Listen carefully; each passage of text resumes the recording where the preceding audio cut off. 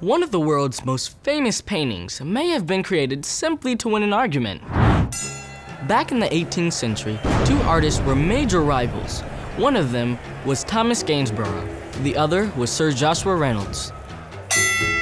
Sir Joshua insisted that the main colors in a portrait needed to be warm colors, like red, yellow, or yellowish white. He went on to claim that green, gray, and especially blue could only be minor colors. Well, Gainsborough grabbed his easel, palette, and brushes and set out to prove Sir Joshua was a bit benighted. The result was this painting. Called The Blue Boy, it's considered one of the world's greatest paintings. Bet you that must have turned Sir Joshua's face red. With Art Smart, I'm William.